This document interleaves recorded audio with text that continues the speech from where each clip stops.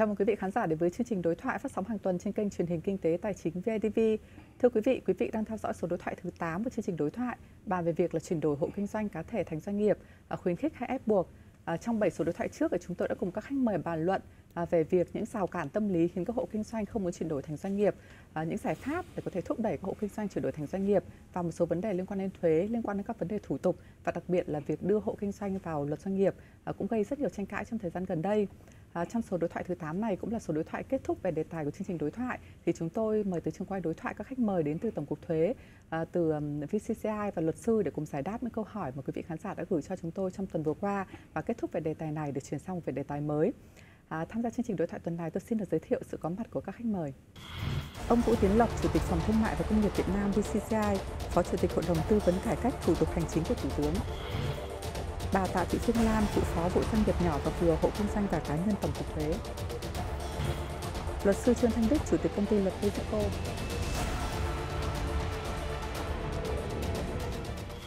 À, vâng, chúng tôi cảm ơn ba khách mời đã đến với chương trình đối thoại ạ. Và có lẽ là sau khi thực hiện 7 số đối thoại thì tôi nghĩ là ngày hôm nay sẽ có rất nhiều nội dung à, có thể đặt câu hỏi cho các khách mời, à, đặc biệt là giải đáp những ý kiến của quý vị khán giả. Thì trước khi mà chúng ta bàn tiếp về chủ đề này cũng như à, trả lời những câu hỏi của khán giả thì xin mời các vị khách mời cùng quý vị khán giả à, đón xem một phần tổng hợp sau đây của chúng tôi ạ. Một cái, cái công ty nó kinh doanh à, thương mại nó có thuế đầu nó có cái, cái hóa đơn đầu vào và có đơn đầu ra thì chênh lệch từ 1,3 đến 1,6% do cái mức chênh lệch từ 10 tới 20% lợi nhuận chưa trừ chi phí. Thì rõ ràng bây giờ tôi khoán cái thuế VAT của anh anh không có hóa đơn gì đầu vào gì cả. Thì phải hơn 1,6% chứ. Tức là bao gồm một cái mức thuế VAT trung bình của những cái doanh nghiệp hoạt động với cái hóa đơn đầu vào đầu ra. Thương mại là xem như là là có đầy đủ. Cộng với một khoản phạt thuế là xem như là ẩn ý thì có thể là mình phải khoán hai phần trăm ừ. đâu thể nào khoán thuế VAT một phần trăm được ừ. nó sụt hơn được sụt như vậy nó sẽ tạo một cái nơi trú ngụ cho những cái cái cái hộ cá thể này cứ rút vô cái tháp ngà mà mình đang đang ngồi không chịu thoát ra nó là hộ thì cái quản lý nó khác ạ ừ. rất là đơn giản tôi lấy ví dụ à, người ta sẽ không vào để quản lý cái an toàn thực phẩm rất ít khi quản lý an toàn thực phẩm này này. Rồi lại là chính sách bảo hiểm xã hội này ừ. rồi an toàn lao động này ờ, của các hộ mà tập trung vào các doanh nghiệp. Và như vậy là các hộ thì cũng không phải là nộp bảo hiểm xã hội cho người lao động nhưng các doanh nghiệp là người ta phải nộp. Và người ta hình dung ra bây giờ trong luật dù rằng nó nói rằng là có sử dụng máy lao động thì chúng ta sẽ phải là nộp bảo hiểm nhưng rất ít khi kiểm tra các hộ đúng không ạ à, các bạn à, bạn bên pháp chế thì thấy rằng là rõ ràng chúng ta tập trung vào đối tượng là gì? An toàn thực phẩm cái gì cũng là vào doanh nghiệp kể cả nhỏ. Và người ta thấy rằng là gì? Như vậy chúng tôi đang là hộ thì chúng tôi rất là đơn giản. Chúng tôi làm là thuế thì có thể là thuế khoán đơn giản. Rồi những cái kiểm tra thanh tra an toàn thực phẩm rồi công an vẫn là ít ít động chạm đến. Và như vậy cảm giác là đơn giản hơn. Nhưng mà khi thành lập doanh nghiệp thì à, phải nộp bảo hiểm này rồi là phải tất cả làm các thủ tục khác và người ta cảm giác là các cái gánh nặng hành chính nó sẽ là nâng lên và có khi người ta ngại. 35% họ không chuyển đổi là vì họ không nắm được cái quy trình chuyển đổi nó ra sao. Họ cứ hình dung cho nó rất phức tạp. Thế là làm cho họ ngại. Và 70% là họ, họ ngại về cái thuế tăng lên các cái chi phí tuân thủ họ tăng lên thì ta phải nhìn vào những cái con số khảo sát đó để ta tính toán và ngại về cái hệ thống sổ sách kế toán của ta. Hiện nay thì nếu là hộ kinh doanh thì chỉ có 6 loại sổ sách thôi.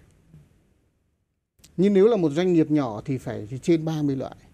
Riêng cái việc đó thôi cũng đã là một cái thách thức rồi. Doanh nghiệp được chuyển lên từ hộ kinh doanh thì ta nên áp dụng một cái đơn giản cái sổ sách. Đã chuyển thành doanh nghiệp, thì doanh nghiệp thì có mấy mô hình, đúng không ạ? Doanh nghiệp tư nhân hay là công ty cổ phần chẳng thì họ phải có một cái tên. Đó, thế thì cái tên họ thì họ không thể nào mà lúc nào lấy cơ sở là công ty trách nhiệm hữu hạn là Nguyễn Văn A được, bởi vì cái công ty đấy nó bị trùng với một cái công ty khác ở trên cái cả cái cái cái cái cái địa lý này, cả cái Việt Nam này rồi. Thì như vậy là người ta cũng không sử dụng được cái tên đó nữa, mà buộc phải theo luật, anh phải chọn một cái tên khác. Đấy thì như vậy là thì cái vỏ là một cái cái mới hoàn toàn rồi. Lúc đấy không dùng được công ty ờ, công ty trách nhiệm hạn cơ sở Nguyễn Văn A nữa mà phải dùng một cái tên khác. Đấy thì như đây là một cái vấn đề mà họ cũng không muốn đâu. Tại vì ví nhiều khi là, là những cái doanh nghiệp mà những cái hộ kinh doanh mà như chúng tôi đã được làm thì họ ví dụ họ ký kết rất là nhiều cái cái giao dịch hàng hóa tiểu ngạch với Trung Quốc ấy, đặc biệt là các cái cơ sở làm cơ khí ấy. Đấy thì thực ra rất là rất là lớn. Mà họ cũng chỉ làm hộ kinh doanh thôi. Nếu mà được ấy thì một thành phố chọn ra một quận để làm thí điểm mạnh dạn giao cho một cái cơ quan quyền lực cao nhất ví dụ như là đảng bộ quận thành lập ra một công ty. Mục tiêu rất cụ thể là năm nay chuyển đổi bao nhiêu hộ và hộ nào thì được chuyển đổi chứ không phải là trong số bị tất cả. chuyển đổi mà là được không phải chuyển đổi. là được chuyển đổi. Vâng. và cái đó công ty đó sẽ phục vụ như thế nào? Để cho nó thấy có một cái à, cái sự sự chuyển đổi từ từ từ doanh nghiệp nhỏ à từ một cái hộ lên một doanh nghiệp nhỏ rồi doanh nghiệp nhỏ lên một doanh nghiệp vừa. Tất nhiên rằng là chúng ta nên có những cái khuyến khích để mà cho những cái doanh nghiệp nào hoặc là những cái hộ kinh doanh cá thể nào có mong muốn phát triển mạnh hơn thì họ có một cái con đường họ có thể chuyển đổi một cách thuận lợi thì tôi nghĩ là cái đấy nó nó là hoàn toàn tốt. Thế tuy nhiên là chúng ta đừng nghĩ được rằng là chuyển đổi được càng nhiều thì nó càng ấy hoặc là chúng ta được thì tôi nghĩ là cái đấy nó lại là một vấn đề hoàn toàn khác. Thế, vâng. thế còn đưa vào trong một cái luật thì tôi cũng hoàn toàn đồng ý các bạn. Thứ nhất, chúng ta phải hiểu được rằng là chúng ta đưa cái chương cái đấy vào trong luật doanh nghiệp nhằm mục đích gì? Tạo môi trường pháp lý hay quản lý hay là cái gì thì nó thì chúng ta đưa vào ở mức độ bởi vì ngoài từ đấy ra nó sẽ còn có rất là nhiều các cái luật bên cạnh khác. Bởi nếu không thì chúng ta sẽ dẫn đến cái chuyện là chúng ta lại làm cho cái hoạt động cái quản lý của họ nó sẽ còn khó hơn. Đưa đưa hộ kinh doanh vào luật doanh nghiệp sửa đổi là một sai lầm. Chắc chắn là một sai lầm. À, không thể can thiệp bằng việc như thế việc việc hành chính như thế. Mà cuối cùng cũng không biết hộ kinh doanh cá thể là nó là gì về mặt pháp lý hình thức của nó. Cũng cũng không không dễ viết một cái một thứ. Mà thực sự nói đó là uh, doanh nghiệp tư nhân đó là cái cái cái kinh doanh một chủ mà chịu trách nhiệm vô hạn. Tương, tương tự như partnership hay là sole ừ, proprietorship của của các nước. Mình không không không không phải viết khác những thứ như thế mà viết khác những thứ rõ ràng là, là, là không không không không có những thứ như thế. Tôi thì cho rằng là cái cách tiếp cận chung của hệ thống phải thay đổi. Thay vì cái việc chúng ví dụ như chính sách thuế chúng ta hay nói là doanh nghiệp thì như thế này mà hãy tiếp cận theo cái tính chất và quy mô kinh doanh mà không phân biệt cái hình thức kinh doanh. Tôi nói ví dụ như về bản chất nếu như một công ty kinh doanh một công ty cổ phần mà doanh thu một năm 100 triệu và một hộ kinh doanh doanh thu một năm 100 triệu về bản chất phải giống nhau không có lý do gì là công ty cổ phần thì ông phải lập mấy chục sổ sách rồi ông lại nộp thuế và là thực hiện tất cả các nghĩa vụ khác khác với lại một cái hình thức về hộ thì tôi cho rằng là cái mà hướng cách có lẽ rằng nguồn lực của nhà nước hiện nay là tạo ra một môi trường kinh doanh bình đẳng ở đây theo quy mô, theo tính chất kinh doanh chứ không phải phân biệt là tên. À, vâng thưa các khách mời khi mà chúng tôi thực hiện 7 số đối thoại đầu tiên thì có lẽ là quá nhiều luồng ý kiến, quá nhiều tranh luận liên quan chủ đề này. 7 số là với 21 khách mời ạ rất nhiều ý kiến khác nhau. Thì trong đó cô động lại nhất là có một nội dung chúng tôi rất là mong ngày hôm nay có tổng cục thuế, có vcci, có luật sư có thể giải đáp là rào cản lớn nhất khiến các hộ kinh doanh không muốn chuyển đổi thành doanh nghiệp có phải vấn đề là về thuế cũng như là những cái thủ tục ờ, mà các hộ kinh doanh sẽ phải ờ, chịu khi mà họ phải chuyển đổi lên thành doanh nghiệp hay không? Thì đó là những nội dung mà bàn khá nhiều các số trước ạ. Thì ngày hôm nay có đại diện của tổng cục thuế trước thì xin mời ý kiến của bà Lan cái luồng dư luận hiện nay nói rằng là tại sao hộ kinh doanh không muốn lên doanh nghiệp? Và có những cái suy nghĩ rất tiêu cực rằng là hộ kinh doanh họ không muốn lên là để họ trốn thuế rồi là để họ uh, gian lận những cái gì đó liên quan đến kinh doanh để mà ờ, thu lợi hơn là ở cái môi trường ờ, cái cái cái cái cái cái cái hình thức là doanh nghiệp. Thực ra nói như thế thì nó cũng không công bằng lắm vì vậy vì đây đang rất nhiều doanh nghiệp họ vẫn đang hoạt động. Thế tại sao họ cũng quay lại là hộ để họ hoạt động đúng không ạ? Họ vẫn đang là doanh nghiệp đấy thôi. Cho nên là cái mô hình hộ kinh doanh hay là cái mô hình doanh nghiệp ấy thì nó là phù hợp với cái lựa chọn của họ hay không. Đó và một cái yếu tố quan trọng nhất là cái yếu tố về chi phí. Đó và cái yếu, cái yếu tố chi phí cũng như cái yếu tố mà cái lợi ích họ nhận được khi là hoạt động ở mô hình hộ kinh doanh hay là mô hình doanh nghiệp. Đấy chính vì vậy cho nên là chúng ta cũng không thể nói rằng là ờ, với cái chính sách như này với cái chế độ về về doanh nghiệp như thế này mà dẫn đến cái việc là hộ người ta không muốn lên doanh nghiệp thì chúng ta phải nhận nhìn nhận ở hai phía. Ở cái thứ nhất là hộ người ta có cảm thấy phù hợp với không và cái mô hình nào cái quy mô nào của hộ thì phù hợp với doanh nghiệp. Và tại sao họ không lên? Và với những cái trường hợp họ không lên đấy có phải là toàn bộ là họ đã phù hợp với doanh nghiệp hay không mà cứ ép họ lên hay không? Đấy thế thì trong thời gian vừa qua thì chính phủ cũng như các bộ các ngành thì cũng đã có rất nhiều các cái ờ, chính sách cũng như cái giải pháp để mà chúng ta uh, khuyến khích rồi tạo môi trường thuận lợi để phát triển doanh nghiệp. Đặc biệt là cái luật là hỗ trợ các doanh nghiệp vừa và nhỏ vừa qua rồi cái nghị định 39 có rất nhiều các cái nội dung liên quan hỗ trợ các doanh nghiệp vừa và nhỏ. Đấy nhưng mà tuy nhiên thì uh, tiếp sau đó thì chúng tôi cũng uh, ngành thuế thì cũng tiếp tục có một cái uh, sửa đổi đối với các hộ kinh doanh. Uh, để để cho thấy rằng là chúng tôi không ép các cái hộ kinh doanh lên doanh nghiệp mà chúng tôi đang sửa các cái chính sách các cái quản lý thuế đối với hộ kinh doanh làm sao đó để nó phù hợp hơn để mà vẫn duy trì cái mô hình hộ kinh doanh nó rất đặc thù này. Ờ, của Việt Nam đặc biệt là với cái nền kinh tế nhỏ. Như chúng ta chúng ta không ép hết toàn bộ các hộ kinh doanh lên doanh nghiệp được. Và theo cái thực tế quản lý của ngành thuế thời gian qua thì thực tế hiện nay vẫn trên trên 90% là các cái hộ kinh doanh quy mô nhỏ. Và quy mô cũng là hình thức gia đình rồi quy mô à, cái phạm vi kinh doanh của người ta cũng chỉ trong cái khu vực của người ta sinh sống thôi. Hay là cái đường phố ngõ xóm hay là cái cái địa bàn nhỏ thôi. À, và trên 9 90% là người ta vẫn chỉ đủ cái nuôi sống của cái gia đình của người ta thôi. Cho nên với cái chính sách thuế đối với hộ kinh doanh theo hình thức khoán ấy, thì chúng ta vẫn phải duy trì. Đấy chẳng qua là chúng ta có thể là sửa đổi làm sao đó để tăng cái tính minh bạch trong cái việc là thực hiện cái việc khoán thuế của cơ quan thuế như thế nào có cái sự tham gia của người nộp thuế hay là sự tham gia của các bộ các ngành rồi các cái chính quyền địa phương. Thế còn thì với cái luật ừ, quản lý thuế số 38 mà sẽ có hiệu lực từ tháng 7 2020 đấy chúng tôi có đưa một cái à, xây dựng một cái mô hình quản lý thuế mới đối với các cái hộ lớn. Và cũng như quý vị đã biết là thì à, với cùng với cái sự phát triển của nền kinh tế cũng như là à, cái dân trí nó cũng được nâng cao lên thì các cái hộ kinh doanh hiện nay ấy, thì không phải là những cái à, gia đình mà ông bà rồi từ đời ông bà hay là bố mẹ rồi kinh doanh nữa. Bây giờ đến cái thế hệ con cháu thế hệ 7x 8x bây giờ thậm chí đến thế hệ 9x chính hệ 2000 người ta cũng đã tham gia vào cái cái cái hoạt động kinh doanh của của mô hình gia đình rồi. Và người ta cũng có rất nhiều các cái kiến thức về công nghệ thông tin cũng như là là là là um, tiếng Anh ngoại ngữ. Rồi họ không cái cái mô hình cái cái phạm vi kinh doanh của người ta không phải trong phạm vi sinh sống người ta nữa. Có thể là toàn quốc cũng có thể là xuyên quốc gia. Thậm chí là có những cái mô hình mà họ có thể liên quan đến xuất nhập khẩu. Đấy cho nên là um, chính vì vậy cho nên thời gian gần đây thì có cái số lượng hộ kinh doanh lớn cũng đã phát triển nó khoảng chiếm khoảng độ trên dưới 10% cái số hộ quản lý và chúng tôi nhận thấy là với cái chính sách thuế như thời gian vừa qua ấy, thì đang đang có một cái chút bất cập đối với trong cái mô hình quản lý đối với hộ lớn này. Thế còn đối với những hộ nhỏ thì hiện nay chúng tôi thấy là cái mô hình thuế khoán thì vẫn là khá là phù hợp. Thế còn đối với những cái hộ kinh doanh mà quy mô lớn thì phải có một cái uh, cách cái quản lý thuế cũng như cái chính sách thuế nó phải tương đương với những cái doanh nghiệp siêu nhỏ. Và chúng ta, khi mà chúng ta quản lý thuế thì ờ, không phải vì ông ấy là hộ mà chúng ta đưa vào cái cái cái cái cái quản lý đơn giản. Đấy, thế thì chúng tôi tiếp cận theo cái quan điểm là theo cái thực tế kinh doanh, theo mô hình, theo bản chất hoạt động kinh doanh, theo cái ngành nghề kinh doanh là gì thì chúng ta phải có cái quản lý phù hợp.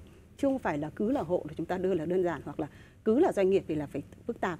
Đấy thế cho nên là với cái cái cái cách tiếp cận như vậy thì cái luật số 38 vừa rồi thì chúng tôi đã đưa ra một công hình quản lý thuế mới à. À, với cái uh, chủ trương đó thì những cái hộ quy mô lớn ấy, thì sẽ phải thực hiện sổ sách kế toán à, phải thực hiện hóa đơn điện tử đấy rồi không áp dụng thuế khoán và sẽ nộp thuế theo kê khai theo thực tế cái hoạt động kinh doanh của người ta à, tất nhiên có nhiều ý kiến cho rằng là Ừ, ừ, đang khoán có khi là còn được thuế, đưa cho họ kê khai có khi lại chả có thuế.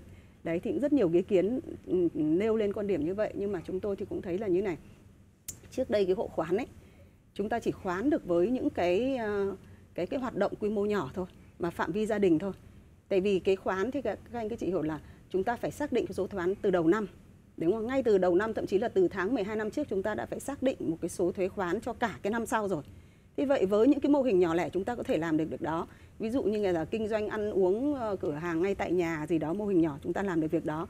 Nhưng với những cái hình thức kinh doanh của hộ kinh doanh hiện nay, ví dụ họ đã có thể là cung cấp các cái hàng hóa cho các cái đơn vị sản xuất chẳng hạn, cái nguyên vật liệu rồi cầm cất máy móc thiết bị thậm chí máy móc thiết bị y tế rồi máy móc thiết bị xây dựng ừ. rồi các cái nguyên vật liệu đầu vào cho sản xuất thì với những cái cái mô hình kinh doanh như vậy chúng ta không thể nào mà áp đặt cho họ một cái cái cái cái mức thuế khoán cho cả năm từ năm trước mà chúng ta lại tính trước được doanh thu của năm sau người ta đạt bao nhiêu thì đấy là cái điều không phù hợp Được. thế cho nên rằng là à, mặc dù chính sách thuế không ép họ lên doanh nghiệp họ vẫn có thể là hộ họ vẫn có thể là hộ nếu như họ muốn nhưng phải có một cái cách quản lý thuế mà chúng ta không khoán thuế Được. chúng ta cho cho họ tự kê khai và thực hiện sổ sách kế toán và khi thực hiện sổ sách kế toán như vậy thì chúng ta có cái căn cứ để thanh tra kiểm tra trước đây thì cái hộ khoán này họ không thực hiện sổ sách kế toán cho nên cơ quan thuế cũng không thể nào có cái căn cứ để thanh tra kiểm tra được đấy cứ khoán xong là xong cùng lắm là chỉ có điều chỉnh tăng giảm một chút thì với cái mô hình hộ hộ hộ, nộp thuế theo kê khai mới thì chúng ta sẽ có cái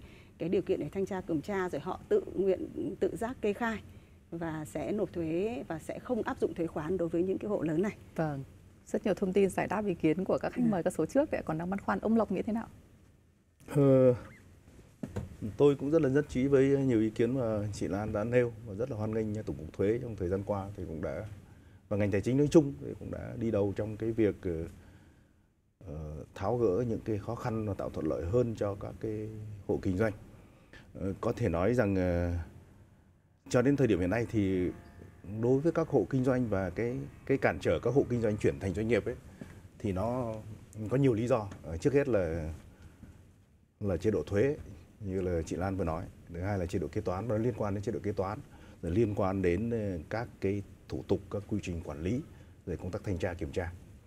Khi trở thành doanh nghiệp thì bao giờ là các cái hệ thống quy định của nhà nước bao giờ nó cũng chặt chẽ hơn, nó bài bản hơn, nó chuyên nghiệp hơn, và cũng khá nhiều các cái hộ kinh doanh ở trình độ phát triển hiện nay thì họ cũng thấy khó khăn trong việc đáp ứng các cái yêu cầu đó. Thật ra thì tôi nghĩ trong hệ thống pháp luật hiện nay là có một cái rất là bất hợp lý, tức là khi mình mình quy định những cái quy định pháp luật khá lỏng đối với hộ kinh doanh ừ. nhưng mà lại khá chặt đối với doanh nghiệp siêu nhỏ. Doanh nghiệp tư nhân là doanh nghiệp siêu nhỏ. Mà doanh nghiệp siêu nhỏ thì anh lại yêu cầu người ta phải thực hiện đầy đủ những quy định pháp luật đối với doanh nghiệp nhưng hộ kinh doanh thì khá lỏng lẻo. Và chính vì thế cho nên ờ, rất nhiều hộ kinh doanh thì người ta thấy rằng nếu mà ờ, là hộ kinh doanh mà không phải đăng ký thành doanh nghiệp thì họ sẽ sẽ thuận lợi hơn. Ờ, thì thì nó có một cái thực tế như vậy. Nhưng mà tôi cho rằng cái cái thực trạng đó phải được giải quyết. Những cái nỗ lực của ngành thuế vừa rồi thì cũng là một cái, những cái nỗ lực rất là quan trọng. Rồi thì ờ, công tác ờ, kế toán kế toán cũng phải có một cái hệ thống kế toán rất là đơn giản. Nếu mà mà mà áp dụng cho hộ kinh doanh, rồi thì thuế khoán thì vẫn tiếp tục phải áp dụng. Và tôi nghĩ rằng cái công tác thanh tra, kiểm tra hay là các cái việc chấp hành cái pháp luật trong lĩnh vực khác thì cũng cần phải có những quy định phù hợp với cái hộ kinh doanh. Thì cái điều đó thì chúng ta đang cố gắng làm nhưng mà ở đây thì tôi muốn nói đến một vấn đề khác. Tôi thì tôi thì tôi nghĩ là đây không phải là sẽ không phải là lúc mà chúng ta mặc dù chúng ta đã ghi rất nhiều trong cái nghị quyết các cái văn kiện các cái chủ trương là chuyển hộ kinh doanh thành doanh nghiệp. Nhưng bản thân cái sự chuyển hộ kinh doanh thành doanh nghiệp tôi nghĩ cũng chưa thực sự chuẩn xác. Vì bản thân hộ kinh doanh thì bản thân nó đã là doanh nghiệp rồi. À, nó là một cái thực thể kinh doanh nó là một cái cá nhân kinh doanh và cá nhân kinh một cái cá nhân đăng ký trước pháp luật để thực hiện hoạt động kinh doanh. Thì cái sự khác biệt giữa doanh nghiệp tư nhân với lại với lại hộ kinh doanh là có đăng ký là không có khác nhau nhiều. Thật ra là không khác nhau, bởi vì cho đến thời điểm này chúng ta vẫn quan niệm là rất nhiều người phổ biến là chúng ta quan niệm rằng ờ, doanh nghiệp là công ty, doanh nghiệp là tổ chức, doanh nghiệp là pháp nhân. Nhưng mà không phải như vậy. Luật doanh nghiệp hiện hành của chúng ta quy định rằng ờ, doanh nghiệp tư nhân là cá nhân kinh doanh, là doanh nghiệp một chủ họ không phải là pháp nhân. Họ bỏ vốn để kinh doanh họ chịu chịu trách nhiệm, chịu rủi ro bằng toàn bộ cái tài sản của họ.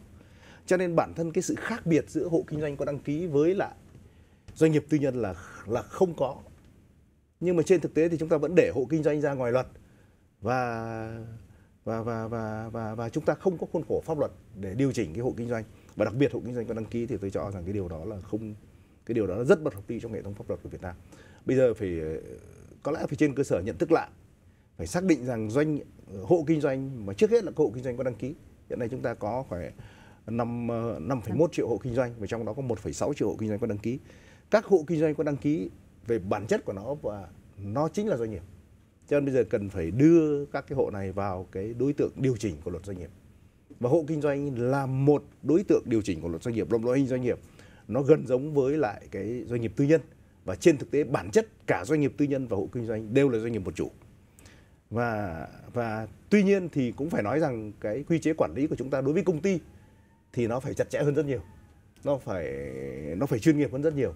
Nhưng đối với doanh nghiệp tư nhân và hộ kinh doanh thì cái hệ thống quản lý của nó phải đơn giản hơn, hệ thống kế toán phải đơn giản hơn, thuế má phải đơn giản hơn và thậm chí có thể áp dụng, như chị Lan nói là áp dụng thuế khoản. Nhưng mà nó vẫn là doanh nghiệp, phải coi đó là doanh nghiệp và tôi cho rằng cái điều đó là rất cần thiết trong bối cảnh hiện nay. Bởi vì trên thế giới hiện nay chỉ có mỗi Việt Nam với Trung Quốc là là có hộ kinh doanh và để hộ à. kinh doanh ra ngoài luật doanh nghiệp thôi.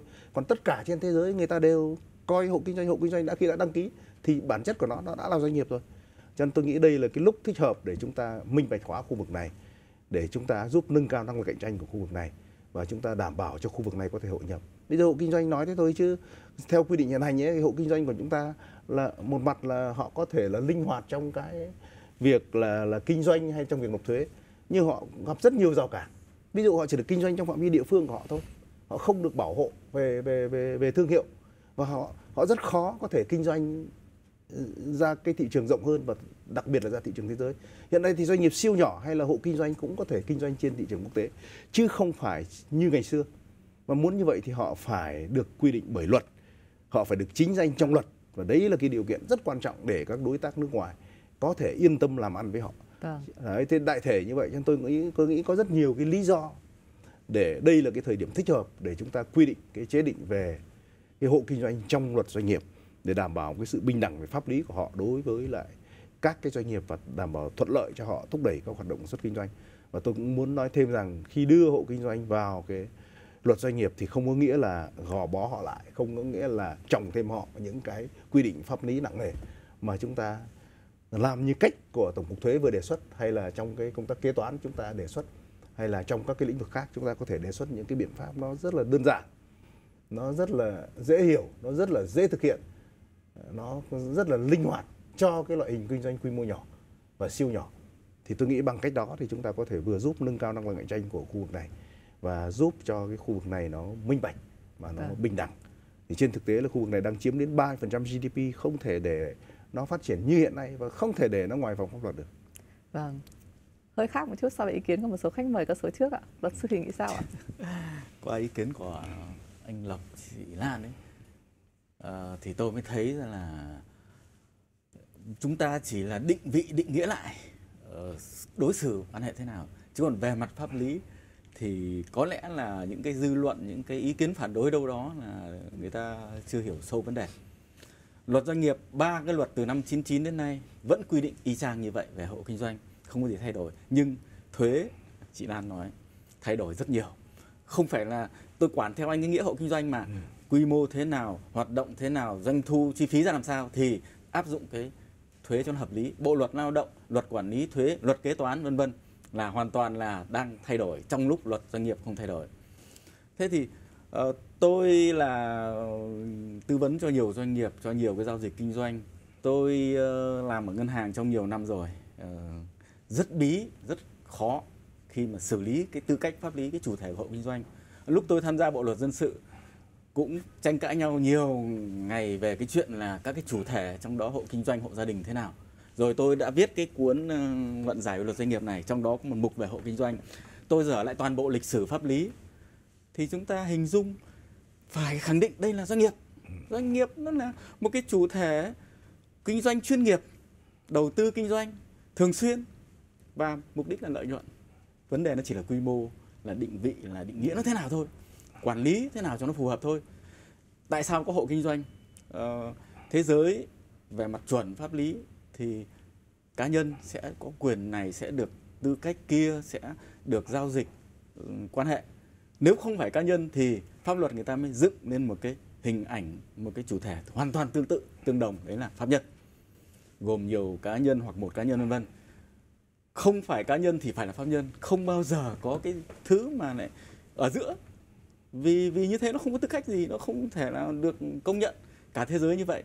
Của mình ấy thì là trong thời gian dài, ngày xưa, chúng ta cấm tuyệt đối kinh tế tư nhân, các doanh nghiệp, chỉ có nhà nước thôi, thì không ổn, rất là nguy hiểm, rất là bất cập. Chúng ta phải phải tạo ra một số cái thành phần trung gian, trong đó có hộ kinh doanh. Lúc đấy làm gì ai được thành lập doanh nghiệp đâu, đến tận năm 89 thì bắt đầu mới được thành lập doanh nghiệp. Rồi năm hiến pháp năm 80 chúng tôi còn nhớ rất là rõ, ghi nhận là cả cái đất nước này chỉ có một vài công ty được phép xuất nhập khẩu. Còn bây giờ tất cả các doanh nghiệp được xuất nhập khẩu, tất cả cá nhân chúng ta ngồi đây đều được xuất nhập khẩu hết. Nhưng phải có làm hay không thôi chứ còn đâu, pháp luật không hạn chế. Hộ kinh doanh lúc đấy là thay thế cho doanh nghiệp, là giải pháp ờ, cầu nối là tạm thời. Còn bây giờ thì ai cũng thành lập được vô cùng đơn giản, vô cùng dễ dàng. Cho nên nói thật là nói là không còn lý do gì để tồn tại hộ kinh doanh. Nhưng vì là lịch sử, vì là tồn tại như thế này thì chúng ta cũng không thể nói xóa. Ờ, chúng ta cũng không cần phải nói là chuyển đổi chúng ta cũng không cần nói là thay thế gì cả. Ờ, chúng ta giải pháp tốt nhất là vẫn ghi nhận nhưng chúng ta phải định nghĩa lại. Ờ, nói như anh Lộc thì ờ, về cơ bản như vậy hộ kinh doanh nếu như một chủ đồng nhất với lại là doanh nghiệp tư nhân trách nhiệm vô hạn là chịu hết tất cả mọi thứ và không phải là pháp nhân. Ờ, thế còn cái hộ kinh doanh của chúng ta ấy, thì lại có một số hộ nó lại hai vợ chồng à, hoặc ba bốn người thì lúc đấy không chấp nhận được cái thành phần đấy. Pháp lý sẽ sớm muộn cũng sẽ phải thay đổi. Ờ, nó không phải hợp danh. Hợp danh thì nó lại quy định hoàn toàn khác. Nó không phải doanh nghiệp tư nhân. Vì doanh nghiệp tư nhân có một chủ đấy lại hai ba chủ. Nó càng không phải là công ty. Đấy. thì bây giờ quan điểm của tôi thì nó rất là đơn giản rõ ràng thôi. Lịch sử pháp lý rồi tính chất rồi đặc điểm các thứ của nó thì chúng ta sẽ vẫn ghi nhận nó. Tên có thể vẫn giữ nguyên. Vâng. đến một lúc nào đấy sau này chắc chắn sẽ phải thay đổi nhưng bây giờ thì vẫn giữ nguyên không ảnh hưởng gì cả. Chúng ta cũng không khoác cho nó cái trách nhiệm pháp lý không làm khó khăn gì nó cả. Cái gì mà nó đang được hưởng cái gì mà đang thuận tiện đang phát huy được chúng ta giữ nguyên. Cái gì tốt hơn chúng ta thêm cho nó. Ví dụ thay vì là chỉ được ừm, mở một cửa hàng phở thôi thì bây giờ anh được phép mở 10 cửa hàng. Thay vì ở một ừm, tỉnh thôi thì anh được phép ở hai tỉnh. Vâng. Ừ. rồi ờ, những cái ờ, thuế những cái ờ, chuyện về ờ, kế toán về báo cáo tài chính về rất nhiều thứ khác là chúng ta ờ, tạm thời giữ nguyên. Và để nó bình đẳng để nó hợp lý hơn thì thậm chí chúng ta phải sửa như anh Lộc nói hoàn toàn đúng. Cái doanh nghiệp siêu nhỏ thậm chí cả doanh nghiệp nhỏ chúng ta cũng phải làm cho đơn giản nó dễ dàng hơn chứ không khó khăn như cái thời gian vừa rồi. Và nếu mà làm được như thế thì nó chỉ có tốt hơn không có bất cứ một cái trở ngại gì cả. Vâng. bản thân những cái người hộ kinh doanh đấy người ta sẵn sàng lựa chọn ờ, giữ nguyên coi như là như như vậy trở lên. Hoặc người ta ờ, có thể sẵn sàng chuyển thành công ty hoặc là chuyển thành một cái hình thái khác chẳng hạn. Đặc biệt là tôi thấy nó bất cập như chị Lan nói đấy. Tôi được biết Hà Nội Sài Gòn và thậm chí một số tỉnh nữa có rất nhiều cái hộ kinh doanh doanh thu quy mô đến hàng trăm tỷ. Trong khi đó đa số công ty của chúng ta cũng chỉ vài tỷ trở xuống thôi nhưng mà hộ kinh doanh hàng trăm tỷ mà lại nộp thuế khoán vài triệu đồng một năm thì chúng tôi không tưởng tượng được là chúng ta đối xử nó như thế nào kể cả anh không mấy hôm nữa anh không thành lập ờ, doanh nghiệp tư nhân theo cái luật hiện hành kể cả anh không thành công ty theo cái quy định bây giờ thì anh cũng phải nộp thuế kiểu khác Vâng. Đấy. Có tình trạng đó mà là À, thực ra Có. là cái hộ kinh doanh mà quy mô lên hàng trăm tỷ là có và có nộp thuế khoán vài triệu một một một tháng. Thế nhưng mà tuy nhiên thì theo quy định hiện hành thì ngoài cái thuế khoán ấy thì các cái hộ kinh doanh đó thì khi mà họ sử dụng hóa đơn ấy thì họ phải nộp thêm một lần thuế nữa trên hóa đơn ngoài thuế khoán. Thế cho nên nếu như mà ờ, ở đâu đó thông tin chỉ nói là thuế khoán từng này thì đúng, thuế khoán là chỉ có từng đấy thôi mấy triệu một tháng thôi. Thế nhưng mà họ phải nộp trên thực tế cái hóa đơn họ xuất ra. Thế những cái câu chuyện là họ xuất hóa đơn có đầy đủ hay không đó để mà thu đúng cái cái cái hóa đơn đấy hay không thì bây giờ chúng ta phải chuyển sang một hình thức là hóa đơn điện tử và hình thức có nộp theo cái kê khai chứ còn nếu như vẫn là hình thức hộ khoán mà họ không phải lưu giữ hóa đơn chứng từ thì cái việc họ xuất hóa đơn hay không xuất đơn chúng ta không thể kiểm tra được. Đấy cái câu chuyện là như vậy. Cho nên là là cái việc là chúng ta thay đổi cái hình thức quản lý thuế chính sách thuế đối với hộ quy mô lớn ấy, thì uh, cũng không nhằm vào cái việc là để chúng ta ngoài cái việc là chống thất thu ra nhưng chúng ta gần như chúng ta cùng với các cái chính sách khác chúng ta đang cởi bỏ cho họ cái cởi bỏ cho cái hộ kinh doanh ấy. Các cái họ được thêm các cái quyền họ được quyền tự kê khai. Họ được quyền được nộp thuế theo thực tế kinh doanh.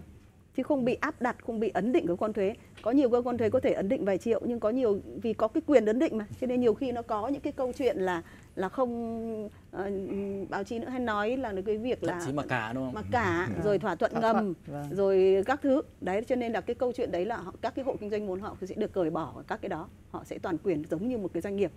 Và như tôi rất đồng tình với ý kiến của của của của của anh Đức cũng như anh Lộc ấy là chúng ta phải hiểu cái việc mà chúng ta đưa hộ kinh doanh vào luật doanh nghiệp ấy không phải gọi không phải ấn cho hoặc đẩy họ lên doanh nghiệp mà đang coi họ đang tháo bở bỏ rất nhiều các cái xiềng xích cho họ vì hộ kinh doanh là không được kinh doanh tại nhiều nơi này không được kinh doanh tại nhiều địa điểm này Không không được làm chủ 10 tại nhiều nơi này. Ừ. không được quá 10 lao động này rồi không được không được rất nhiều các cái thứ khác. Thì bây giờ khi mà vào luật doanh nghiệp họ vẫn được gọi là hộ kinh doanh mà. Họ vẫn được gọi là hộ kinh doanh nhưng họ được cởi bỏ rất nhiều các cái xiềng xích. Đó họ có rất nhiều các cái sân chơi họ được nới cái tầm tay rất là lớn. Nhưng mà về chính sách thuế thì nếu như họ nhỏ họ thực sự vẫn quy mô nhỏ họ vẫn áp dụng cái thuế khoán bình thường nhưng nếu họ quy mô lớn thì họ lại được cái quyền lớn hơn là quyền tự kê khai.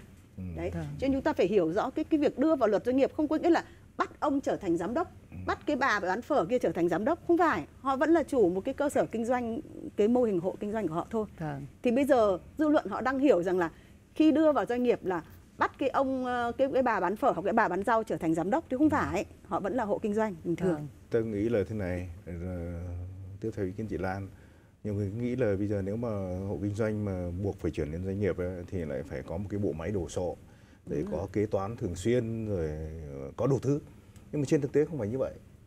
Cái chế độ kế toán mình vẫn áp dụng như bây giờ Vâng, cải thiện dần. Doanh nghiệp Cho siêu nhỏ bây giờ là không có kế toán trưởng nó, nó, nó không cần kế toán nó không cần kế toán. Mà nếu mà trong trường hợp doanh nghiệp siêu nhỏ khi nó có nó cần công tác kế toán thì thuê dịch vụ kế toán chứ không phải là tuyển một kế toán kế toán trưởng hay một bộ máy kế toán thế và liên quan đến cái điều mà mà mà chính danh họ trong cái luật doanh nghiệp ấy như lúc nãy là anh Đức với chị Lan nói thì thì tôi chỉ nghĩ như thế này thôi. Ờ, trước hết đấy là hộ kinh doanh thì phải được đăng ký trước pháp luật với tư cách một cá nhân trong hộ đó. Có nhiều người ví dụ vợ chồng con cái cùng làm nhưng ông chồng hay bà vợ hay đứa con sẽ đứng ra đăng ký trước pháp luật và chịu trách nhiệm bằng toàn bộ tài sản của một mình. người đăng ký. Chứ còn quan hệ giữa các cái hộ với nhau là quan hệ dân sự à, quan hệ giữa vợ chồng con cái là quan hệ gia đình quan hệ dân sự.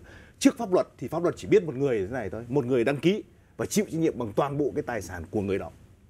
Thế thì với nếu mà hộ kinh doanh đăng ký như thế này mà trên thực tế là hầu hết các hộ kinh doanh hiện nay đang các hộ kinh doanh cũng đăng ký như vậy vâng. thì họ giống như doanh nghiệp tư nhân.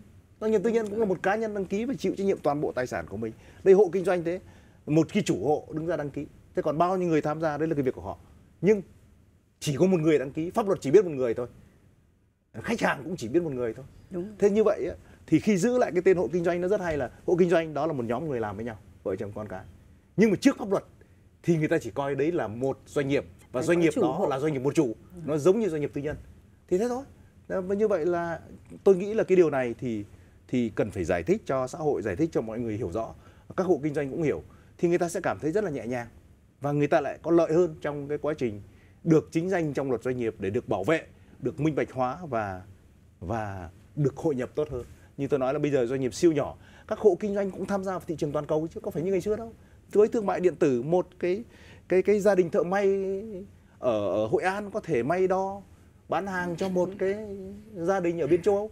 Hay một anh trồng cà phê một gia đình trồng cà phê có thể bán cà phê trong một cửa hàng cà phê ở Mỹ. Thế đâu phải hộ kinh doanh hay doanh nghiệp siêu nhỏ không ra thị trường thế giới? Mà ra thị trường thế giới thì bây giờ người ta sẽ hỏi rằng thế thì ờ hộ kinh doanh của ông quy định ở đâu? Thế một quy định nghị định của chính phủ. Người ta không có tin.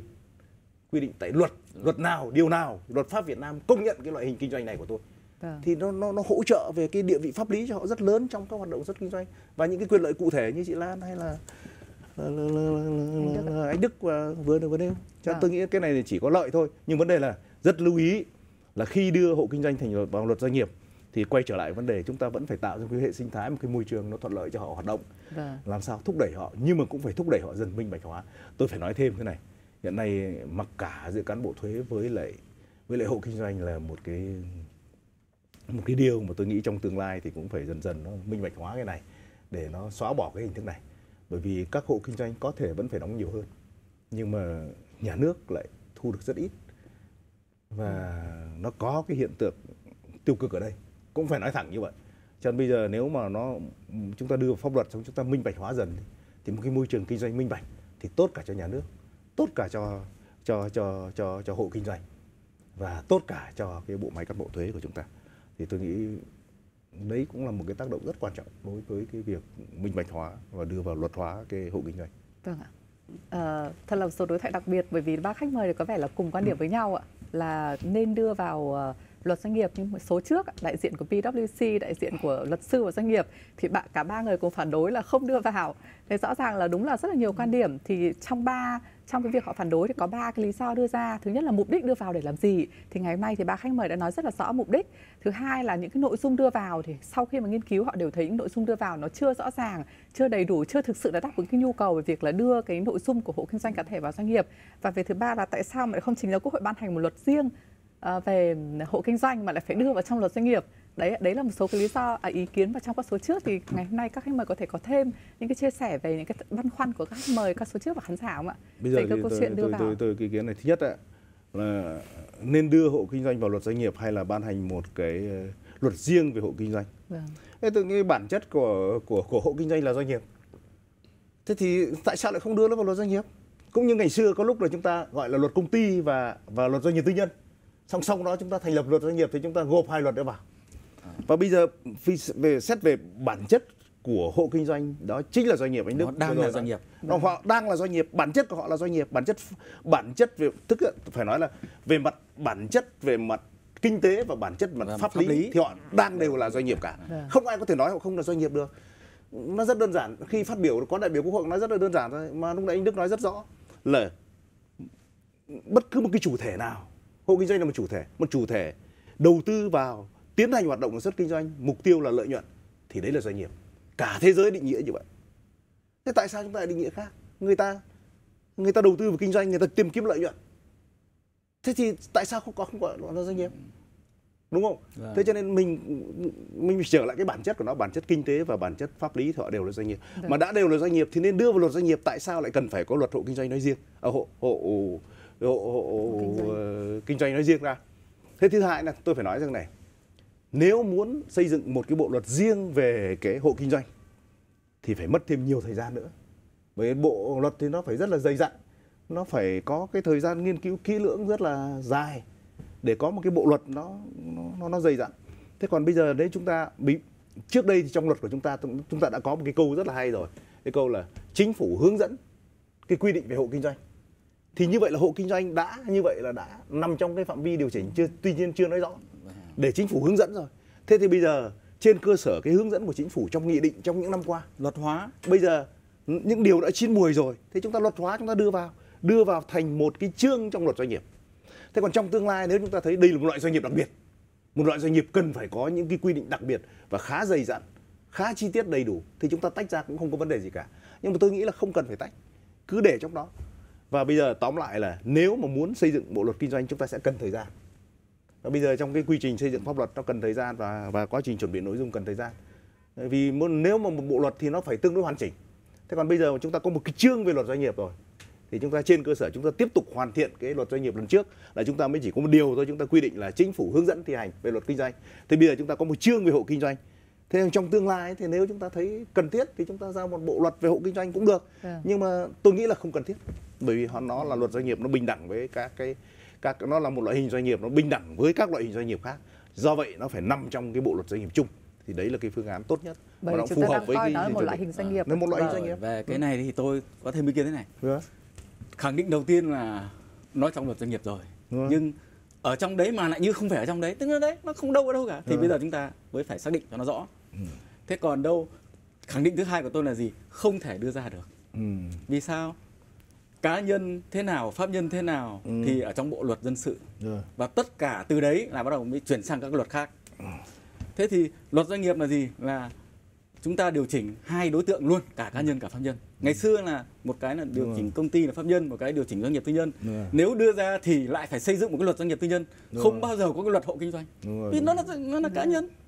thì thì anh đi theo hướng đấy còn nếu mà cá nhân không kinh doanh thì ở trong bộ luật dân sự hoặc là kinh doanh ờ, một chút chút thôi. Đúng, tức đúng. là không phải chuyên nghiệp đúng rồi, đúng rồi. có làm thêm một chút thỉnh thoảng buôn bán một chút thì lúc đấy không phải doanh nghiệp thì Đúng hoàn toàn là trong bộ luật dân sự chứ không ai lại đi Đúng, đúng. điều chỉnh một cái luật về hộ kinh doanh nghe nó rất là buồn cười nghe nó không đúng về cái bản chất và cái thế giới này chắc chắn chưa có chả có ai có. làm thế Vâng. như anh Đức nói thì tôi chỉ nói thêm nữa nếu mà định làm luật về hộ kinh doanh thì có nghĩa là sao trong tương lai bộ luật doanh nghiệp lại phải tách ra tách và thành luật công ty và luật Và doanh nghiệp luật một doanh chủ nghiệp tư nhân. và doanh nghiệp Và- một chủ thì bao gồm doanh nghiệp tư nhân và Vâng. cái hộ kinh doanh Vâng. Chúng ta đã sáp nhập vào rồi bây giờ chúng ta lại định tách ra mà cái điều đó nó không đúng bởi cái từ doanh nghiệp của nước ta là nó trùm tất cả. Các nước khác đôi khi nó gọi là công ty.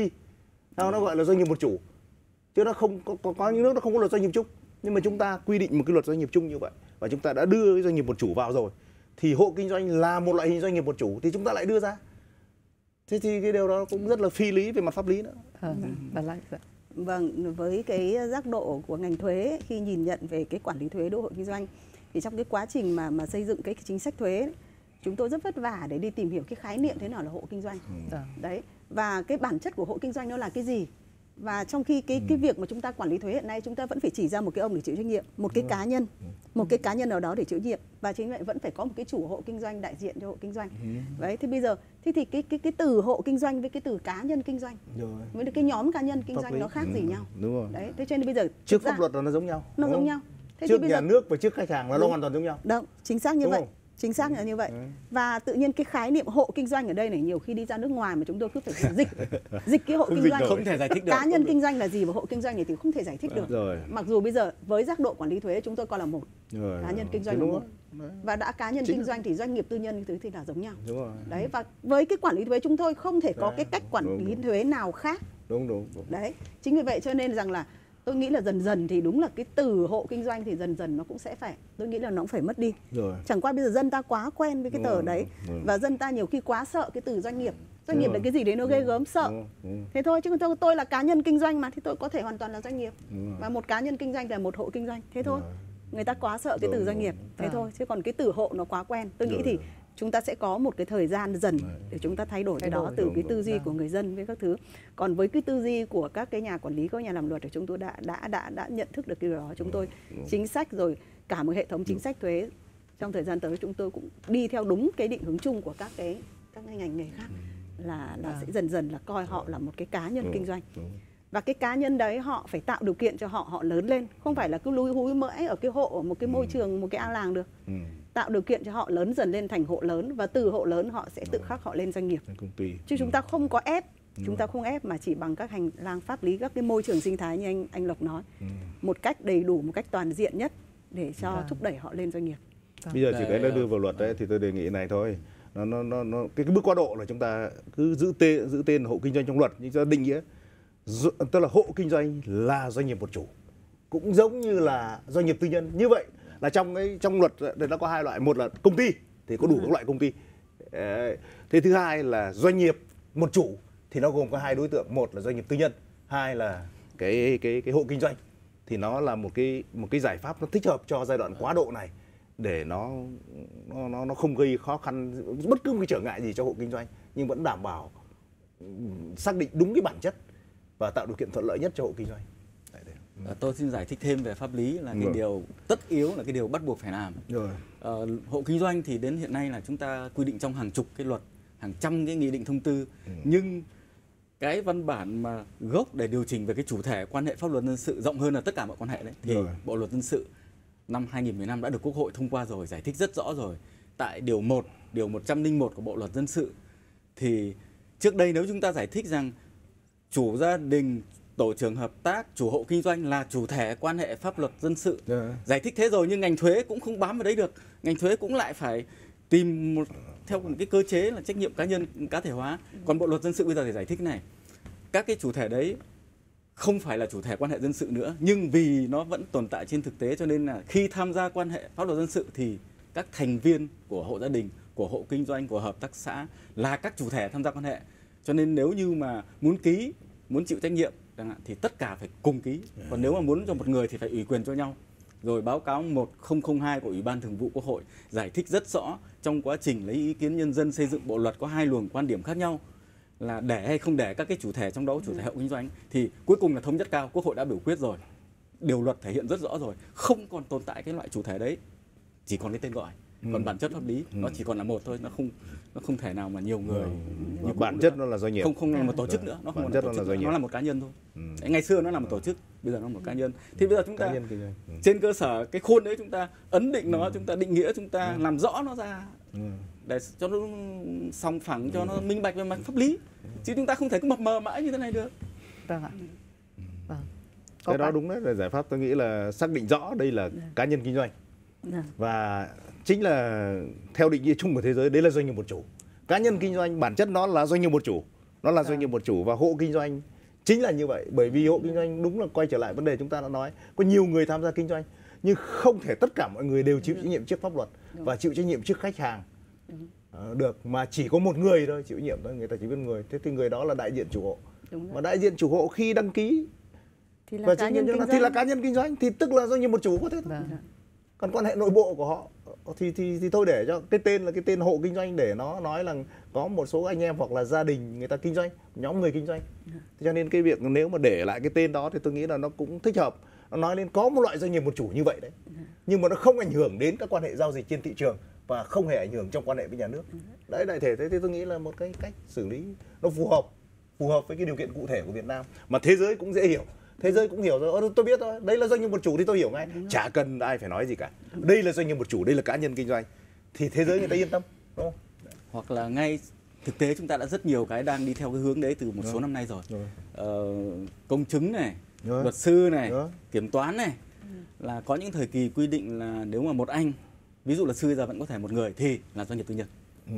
công chứng ngày xưa đã từng quy định là một người là doanh nghiệp tư nhân. Rồi. sau đó thì luật công chứng sửa đổi à, phải là hai người thì lúc đấy không được phép doanh nghiệp tư nhân là công ty hợp danh luật sư cũng thế nếu một luật sư thì là doanh nghiệp Rồi. tư nhân nhưng nếu hai luật sư trở nên hai kiểm toán viên trở nên thì buộc phải thành công ty hợp danh Rồi, thế không không tồn tại cái dạng mà như hộ của chúng ta đâu Đúng rồi. tuyệt đối không có có hai cả thế giới người trở có. lên là phải thành công ty đúng không? Vâng. đấy còn nếu hộ- mà công ty thì anh sẽ lựa chọn trách nhiệm hữu hạn cổ phần hợp danh tất nhiên là chỉ một số lĩnh vực người ta bắt buộc phải hợp danh thôi còn lĩnh vực khác thì thoải mái chọn là có thể là trách nhiệm hạn cổ phần.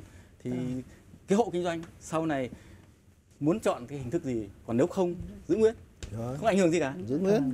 Chỉ có một người đăng ký thôi và pháp luật cũng chỉ thừa nhận có một người đăng ký thôi đúng không? Nhà nước chỉ cần chỉ thừa nhận một người thôi. Vâng, không có khách vấn đề mời có vẻ rất là đồng thuận và ủng hộ cung cấp bổ sung thêm thông tin cho nhau. Thực ra thì ngoài những nội dung như vậy thì có rất nhiều những nội dung khác mà những số trước còn băn khoăn còn nêu ý kiến nhưng tôi nghĩ là những cái vấn đề mấu chốt, những vấn đề trọng điểm chúng ta đề cập từ ban đầu thì ngày hôm nay đã được các khách mời từ Tổng cục Thuế, từ VCCI, từ luật sư là cung cấp khá là đầy đủ và chi tiết.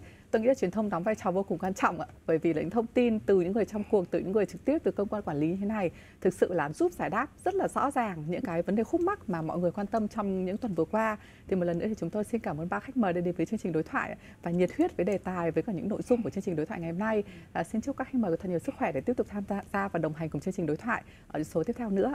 À, chúng tôi cũng rất cảm ơn sự quan tâm theo dõi của quý vị khán giả. À, quý vị có thể xem lại chương trình đối thoại trên website kênh truyền hình VITV www.vitv.vn. À, ờ, xin kính chào và xin được gặp lại quý vị trong các chương trình đối thoại tiếp theo ạ.